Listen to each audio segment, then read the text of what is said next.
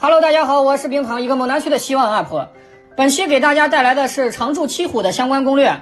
UP 我不会去推荐大家抽某某角色，因为常驻角色无 UP，并不是说推荐了大家就能抽到。三百发的自选五星，没个一年半载也是填不上的。所以说，到底能获得哪一个角色，完全看缘分，好吧？本期主要是让大家最起码能知道我抽到的这个角色他是干什么的，他应该怎么玩儿。毕竟新手池大家肯定是要抽的，所有人都最起码可以从里面获得一个五星角色。先来看输出角色吧，燕青、姬子、克拉拉，他们三个都算得上是传统意义上的输出角色。其中燕青侧重对单，自带双爆加成，但是倍率较为一般。出生机制吃护盾，大招启动也比较困难，一百四十点的能量需求全游最高。姬子侧重对群，倍率同样较低，固有天赋也比较麻烦，需要多次击破弱点才可触发。日常清杂完全够用，但是在面对精英怪物时非常吃力。克拉拉既有对单也有对群，倍率呢也不高，反正常驻角色基本上都这样啊，不会把数值给的很夸张。策划要留出来一部分上升空间给限定角色。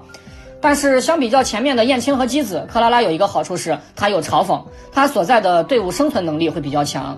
但是也正因为这个嘲讽反伤的机制，她的出伤比较磨迹，在一些追求效率的关卡体验可能不是很好。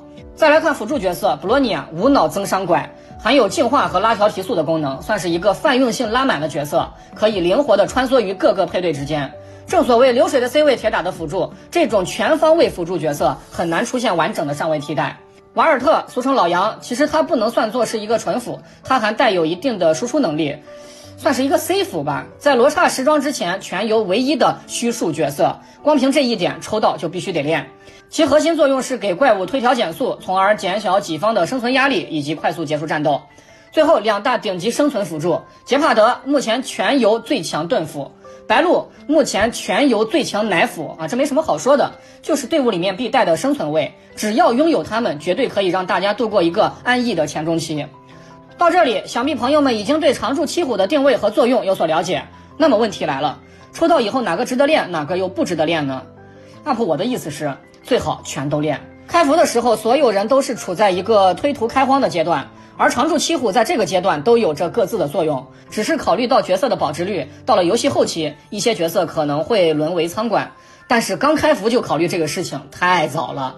所以，为了能帮助朋友们愉快的度过前中期，常驻七虎最好还是都练一下。而且，崩铁这个游戏它是存在弱点机制的，练的属性越多，在面对怪物的时候就越容易拿出克制属性。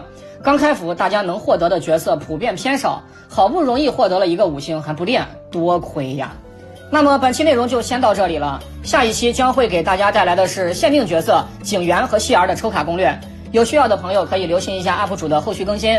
那么最后，愿朋友们在抽卡的道路上好运连连，金光多多，十连不歪，早日满魂。